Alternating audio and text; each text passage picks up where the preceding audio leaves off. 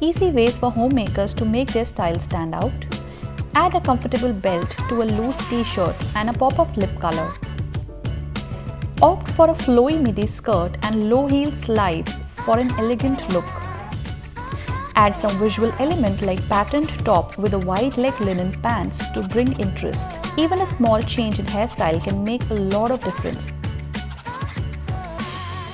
Opt for a wrinkle-free yet breathable fabric to keep you going through the day.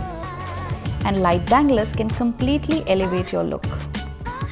Opt for a classic look with black t-shirt and a shrug. You can even tie your hair using a vibrant scrunchie.